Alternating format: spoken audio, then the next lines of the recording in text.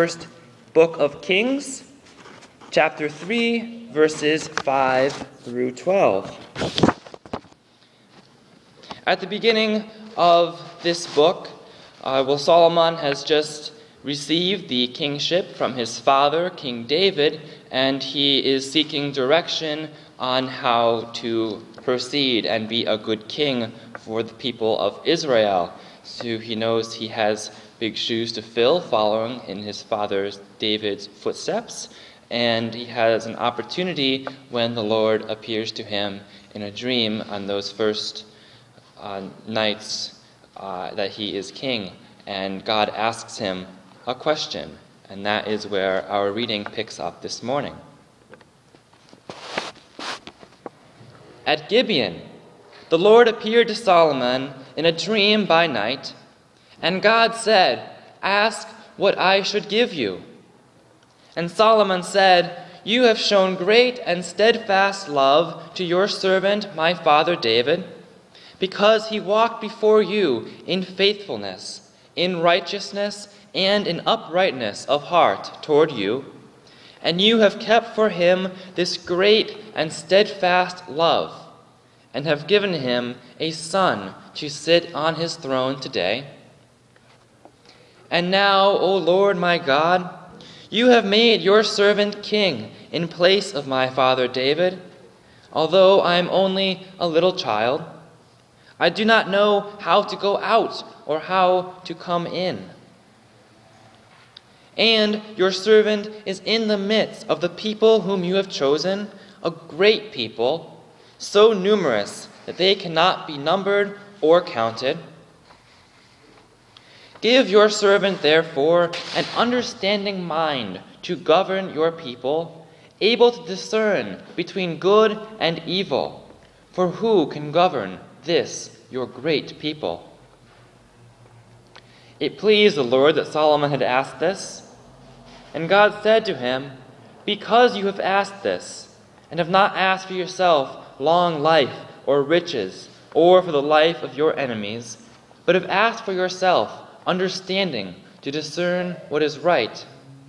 I now do according to your word. Indeed, I give you a wise and discerning mind. No one like you has been before you, and no one like you shall arise after you. And so ends the reading of God's word.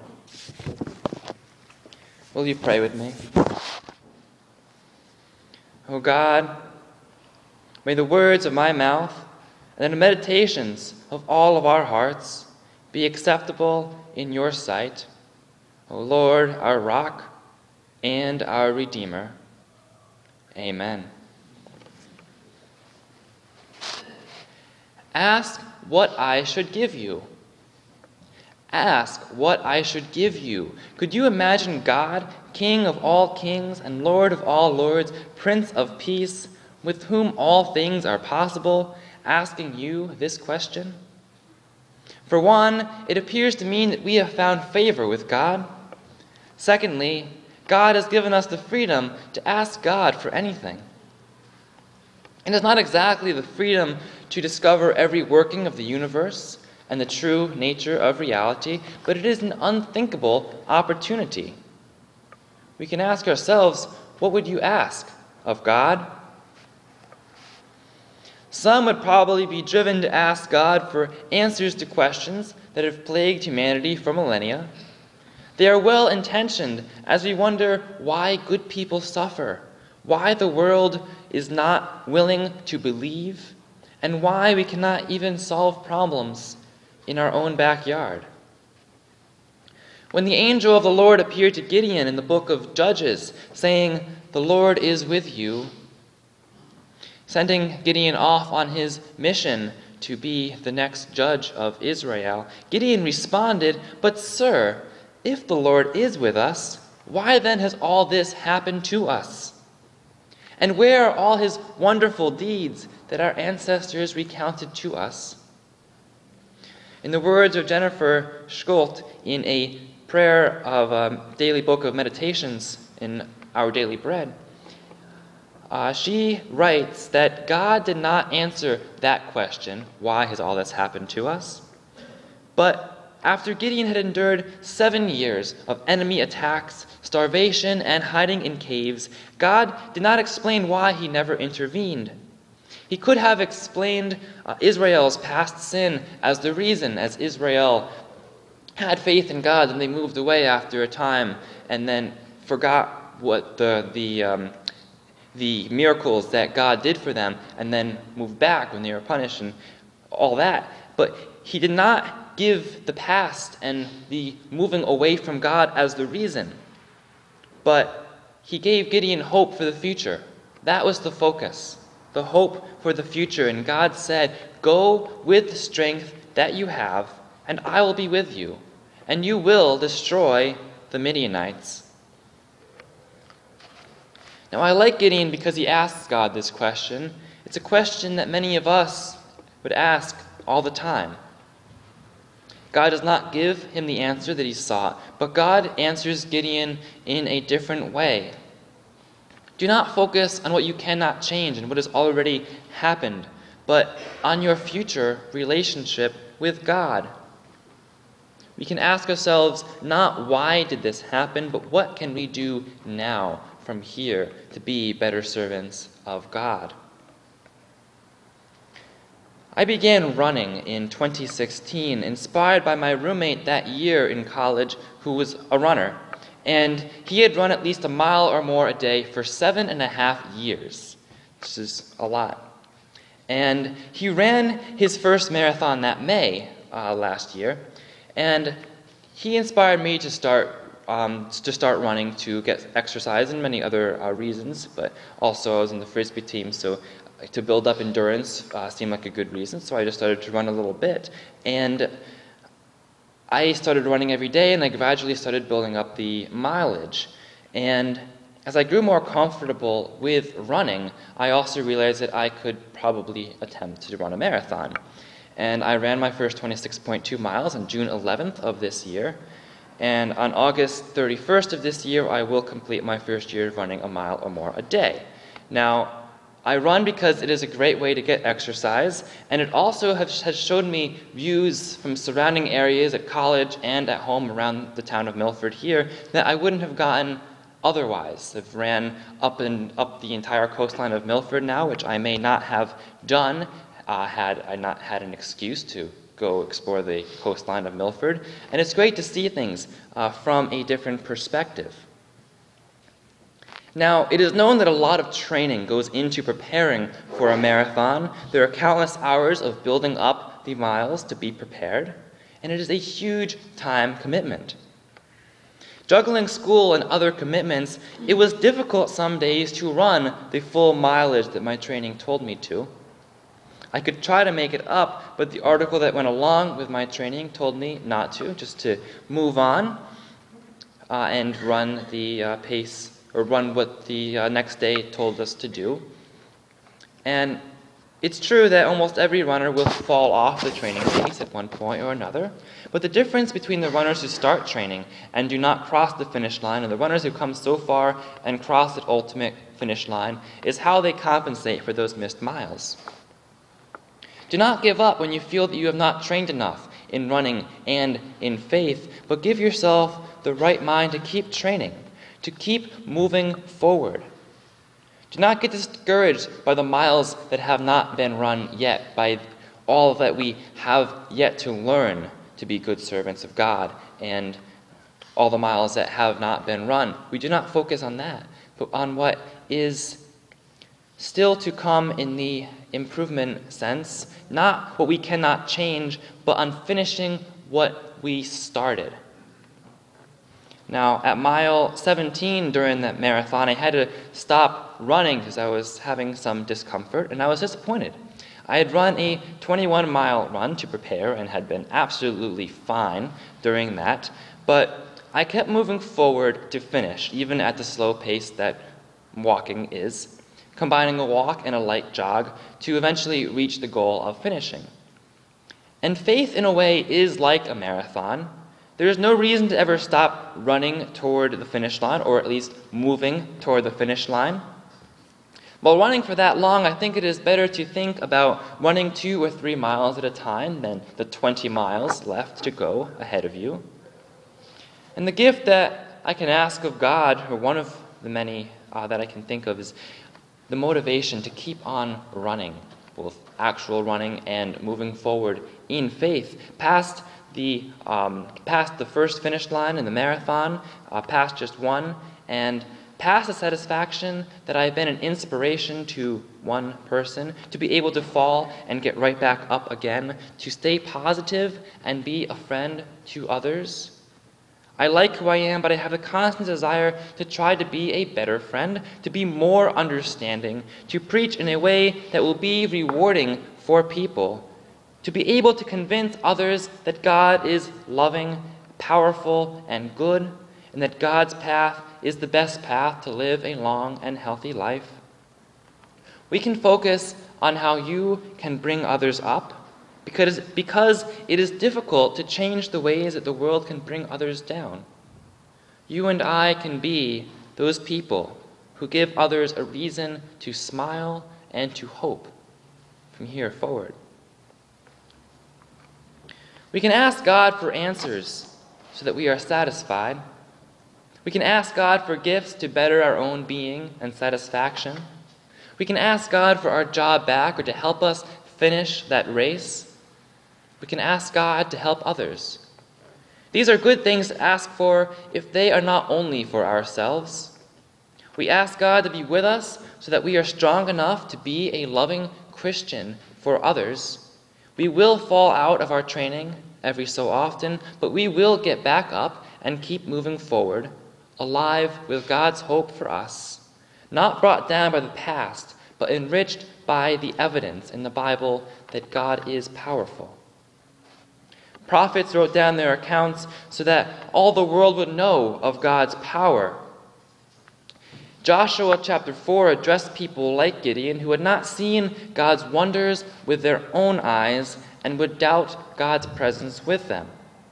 It reads Those twelve stones, which they had taken out of the Jordan, Joshua set up in Gilgal, saying to the Israelites, When your children ask your parents, ask their parents in time to come, What do these stones mean? Then you shall let your children know Israel crossed over the Jordan here on dry ground. For the Lord your God dried up the waters of the Jordan for you until you crossed over. As the Lord your God did to the Red Sea as well, which he dried up for us until we crossed over, so that all the peoples of the earth may know that the hand of the Lord is mighty, and so that you may fear the Lord your God forever. Not just then, but forever. And if we remember God's power and praise God with it, we will be strong.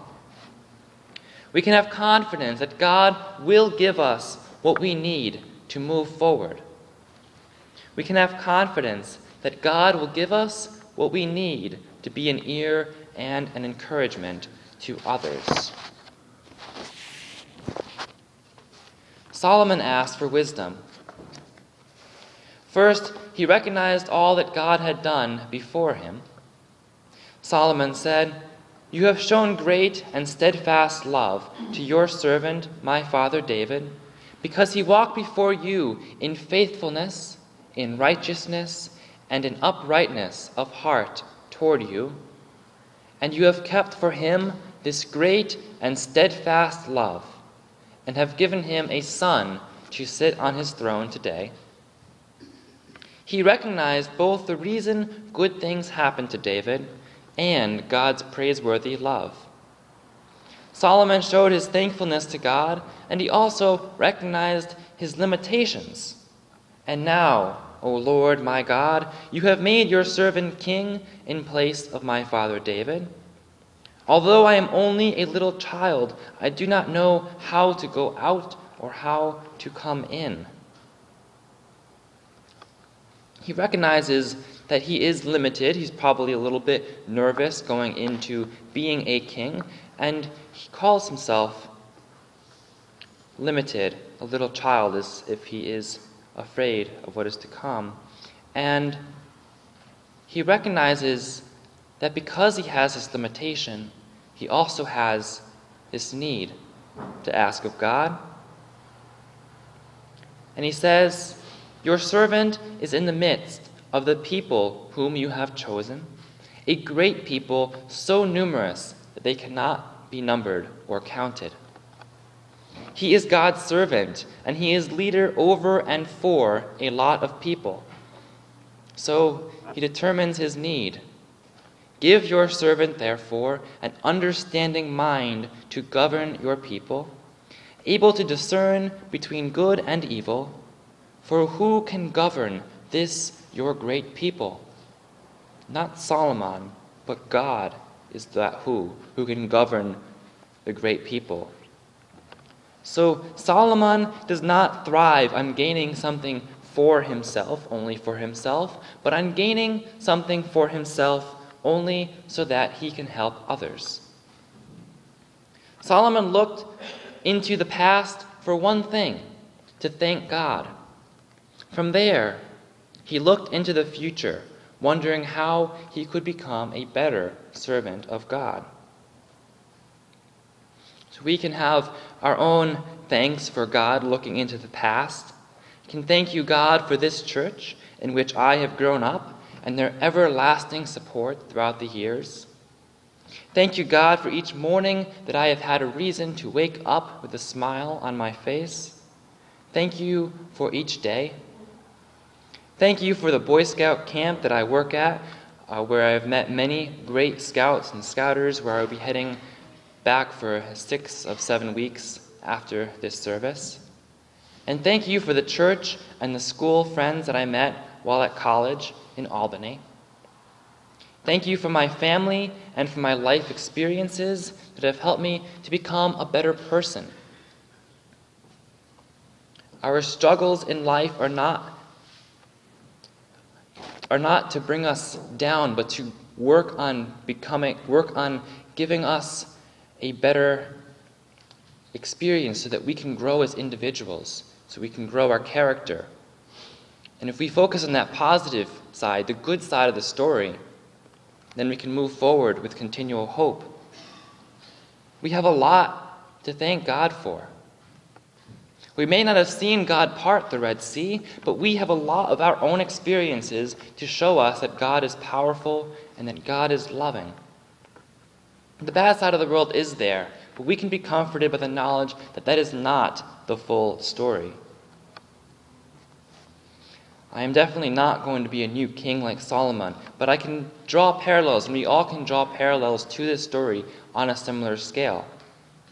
As I was reading this passage, I thought of uh, how, how Solomon uh, was going to be leading his people, and I can compare it to how I will be leading on a smaller scale, hopefully, a congregation someday after I finish my Master in Divinity degree. I might be able to count the members of the church, but I cannot count the people outside the walls of the church to who our influence hopefully reaches. I want to ask for the same gift, an understanding mind, because that is a very important part of a pastor's job to understand the people, not just to be a figure uh, in front of the congregation every week, just like Solomon didn't want to just be a king figure removed from everyone else, but with the people, present with the people. And this understanding mind, this ability to discern between what is good and what is evil, is a very important part of understanding each other as Christians. And Solomon knew this to ask for this gift from God. With God's help, we can be God's servant, for God is the only one who can govern God's people, and then we become God's servants. We can each pray to God to help us to help others. God was pleased that Solomon did not ask for himself long life or riches or the life of his enemies. Because God is love. Christianity is love. It is our passion to care for others more than for ourselves. We can pray that we can understand each other using strength from God. I said that faith is like a marathon. I want to read for you another daily devotional written by Jennifer Schuldt, which I think illustrates this very well. For three consecutive years, the author's son participated in a piano recital.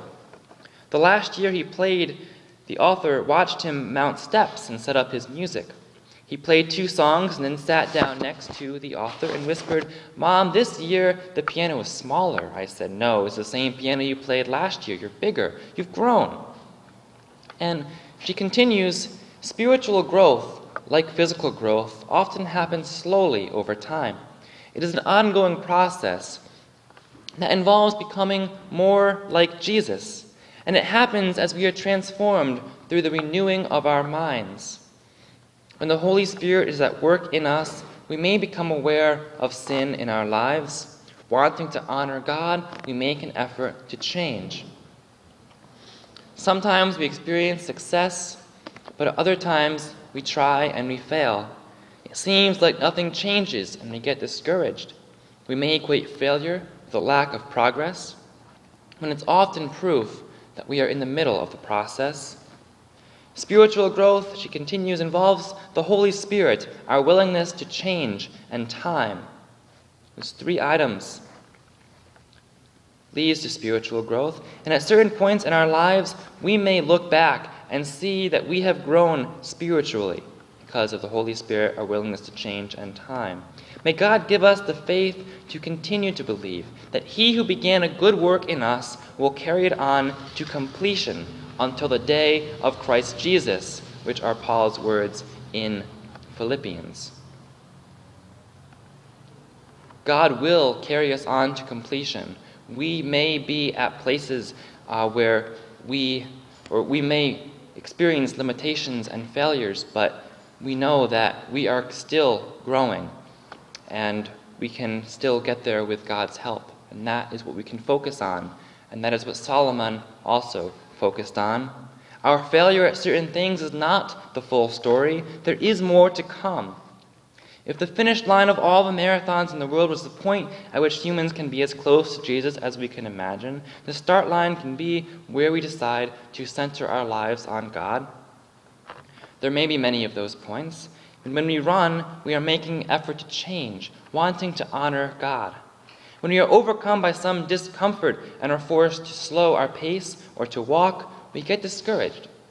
But we know to keep moving forward at a pace that is sometimes unrecognizable in our spiritual life, yet it is still happening. And we can still be comforted by the knowledge that it still, ha- that it still happens as we realize when we cross the finish line.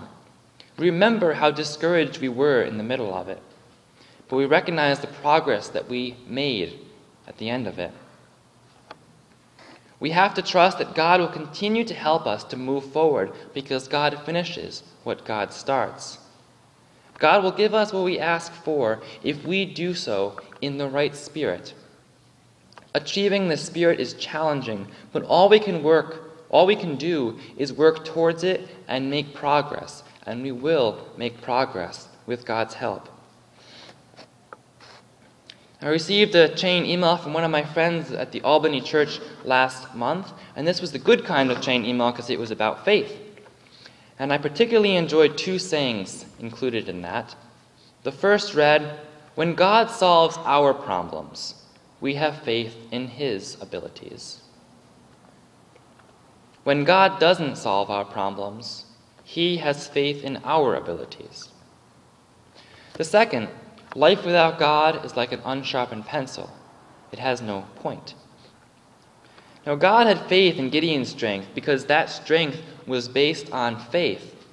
We talk so much about how we need to adjust and feed our faith in God, but we need to remember that we are constantly on a two way street. God has faith in us too. God had faith in Solomon when God asked him what he wanted from God. God trusted that he would ask for the right gift and that God could reward him. Let us keep our part of the conversation with God, relying on God's abilities to help us along our path and also on our abilities to keep trying, to never give up. Soon enough, all of our discouragement will turn into an everlasting joy, thankful for the progress that we realize that we made. I have heard many people telling me or another in real life, in movies or somewhere, you just don't understand. In 1 Samuel 13, the new king Saul waits for Samuel to offer the burnt offering, but he is late and an army of Philistines is approaching. Now, the new king Saul wants to offer this offering to please God before the battle happens, so that God is with them throughout the battle. But the Philistines are approaching, and Samuel, the prophet, has not yet appeared to offer the burnt offering. So Saul explained, When I saw that the people were slipping away from me, and that you, Samuel, did not come within the days appointed, that the Philistines were mustering at Michmash, I said, Now the Philistines will come upon me at Gilgal, and I have not entreated the favor of the Lord. So I forced myself, and I offered the burnt offering. Now Samuel said to Saul when he showed up, You have done foolishly. You have not kept the commandment of the Lord your God, which he commanded you. The Lord would have established your kingdom over Israel forever, but now your kingdom will not continue. The Lord has sought out a man after his own heart, and the Lord has appointed him to be ruler over his people, because you have not kept what the Lord has commanded. Now, Saul's action may have been what any of us would have resorted to during that time period for the fear of the oncoming Philistine army and the people turning away from him during that time. Time was of the essence here. He could have been thinking when Samuel was saying these things to him, You just don't understand. But he went away quietly. A friend told me that the person he, that he had just treated rudely didn't deserve respect, and when I tried to argue the point, he told me, You just don't understand. He's right. I know nothing about their prior relationship. I'm just trying to understand both sides in the mix of what could be a lack of forgiveness, a series of misinterpretations or hurt feelings. Many times, an understanding ear is what an agitated person needs to open one's mind and tell someone that you understand where they are coming from, and you really do, can help to create some sense of peace.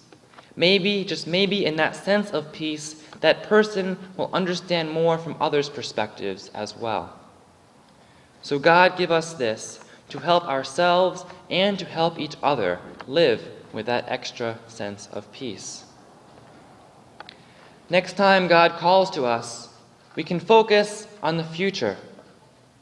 We can see not how far we have to go, but on how far we have come. Thankful for the struggles that we overcome and, hope, and hopeful for improvement to follow. We are God's servants, relying on God as we spread God's word, the bread of life. We can tell God, Here I am, Lord. Is it I, Lord? I have heard you calling in the night. I will go, Lord, if you lead me. I will hold your people in my heart, if only you give me an understanding mind. Thanks be to God. Amen.